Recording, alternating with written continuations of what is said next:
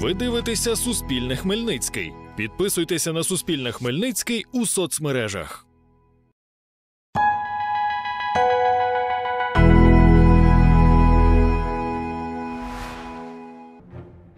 Знаю, що він живий. Рідні військовополонених і безвісти зниклих вийшли на акцію в Хмельницькому.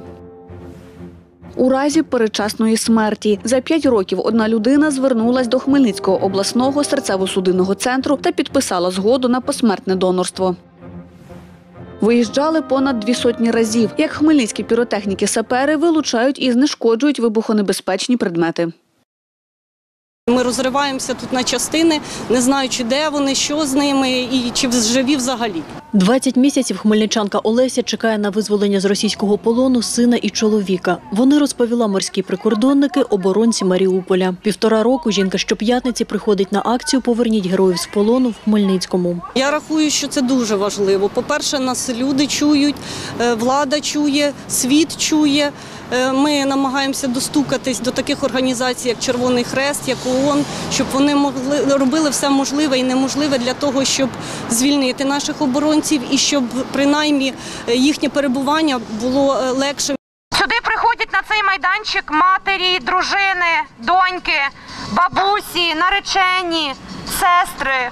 Приходять друзі, приходять куми і приходять волонтери. 50 українців стали учасниками сьогоднішньої акції, більшість із яких, зі слів її координаторки Лесі Стебло, рідні військовополонених і безвісти зниклих. Син Надії з Хмельницького району рік тому зник безвісти при виконанні бойового завдання на Донеччині. 12 грудня пішов ти на війну. Проклят. Чекаємо, чекаємо. Я знаю, що він живий, чекаємо. Не знаємо де, але я його чекаю. Ми всі чекаємо, що всі вернули, що проклята війна кончила. Надія пригадує, як спілкувалася з сином. Каже, що у нас все добре, все добре. Мамо, не переживай, все добре. Ми приходимо сюди на цей майданчик, щоб попросити вас, шановні хмельничани, теж долучитися до нашої боротьби за життя кожного українського військового. Мене це особисто зачепило. Тому що в мене двоюродний брат загинув півроку тому, і він з Азову.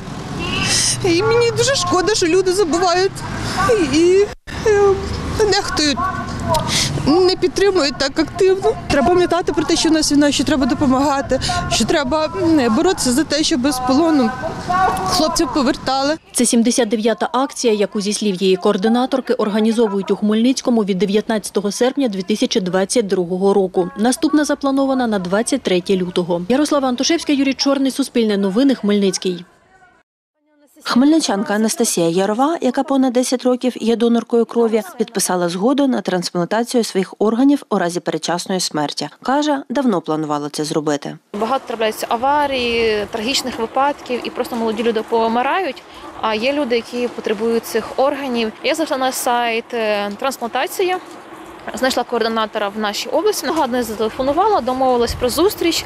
Вона надіслала мені заяву на згоду, я її перечитала. Які питання в мене були, я узгодила з нею, підписала цей договір. Це єдина людина з 2019 року, відколи набули чинності зміни до закону про трансплантацію, яка звернулась до обласного серцево-судинного центру, щоб заповнити заяву та підписати згоду на посмертне донорство, каже директор центру Андрій Кланца. прижиттєва згода на донорство, вона є дуже простою. Вона займає тут е, м, до 10 хвилин надання, бо тут протікати е, так чи ні, двічі розписатися, і е, для когось ця заява стане рятівною, а можливо там для трьох-п'яти людей одночасно. Статистики, скільки жителів Хмельниччини написали заяви на донорство органів у разі їхньої передчасної смерті, немає, каже голова групи експертів з трансплантології департаменту охорони здоров'я обласної військової адміністрації Олексій Підморняк. Якщо говорити про статистику, скільки нам треба, то на сьогоднішній день за золотий стандарт прийнята е, модель, яка побудована в Іспанії, як вони виконують трансплантації. В середньому на 1 мільйон населення виконується 120 трансплантацій.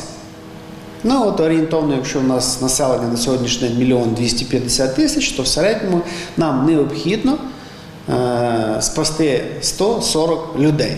Якщо людина планує написати заяву на посмертне донорство, вона має звернутися до трансплант-координатора, який має доступ до єдиної державної інформаційної системи трансплантації, каже Олексій Підморняк. З його слів, трансплант-координатори є у більшості опорних лікарень Хмельниччини. Розповідає, як можна знайти їхні контакти.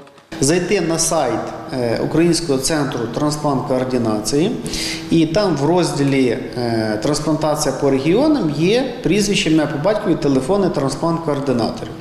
Зателефонувавши, ви зустрінетесь. Е, Буде ОПСУ проведено, скажімо, порівняння стан вашого здоров'я з тим, яким повинен бути у донора, і буде вам тоді запропоновано написати цю заяву. Нині шестеро жителів Хмельниччини в очікуванні на пересадку серця, каже Андрій Кланца. У нас, е, якби немає ще такої культури е, донорства, е, люди про це тільки починають взнавати, що цей метод ефективний, що одна людина, яка раптово померла і не може бути врятована ніякими сучасними методами лікування, може дати життя там двом, трьом, п'яти людям. Якісне, довше і краще. За словами Олексія Підморняка, поодинокі згоди на посмертне донорство добре, але потрібна національна кампанія з популяризації цієї справи. Наталя Сідова, Юрій Чорний, Оксана Євтухова. Суспільне новини. Хмельницький. Увага, міни! Так піротехніки знешкоджують вибухонебезпечні предмети, які з різних причин не здетонували, розповідає сапер відділу вибухотехнічної служби головного управління Нацполіції в області Андрій Зарічний. Від початку повномасштабного вторгнення на нашу територію е, працівники нашого підрозділу здійснили понад 200 виїздів. Це включаючи і ті виїзди по фактам вже е, вибухів. Виїжджаємо на такі, які збиті, або ті, що впали і не вибухнули. Різні є варіанти.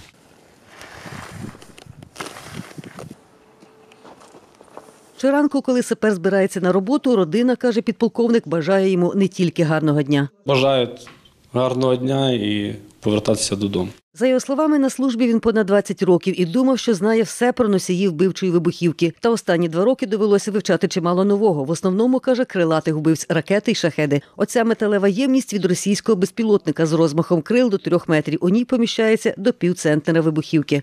Коли е, бойова частина вдаряється в землю, там спрацьовує накольний механізм і підриває даний заряд.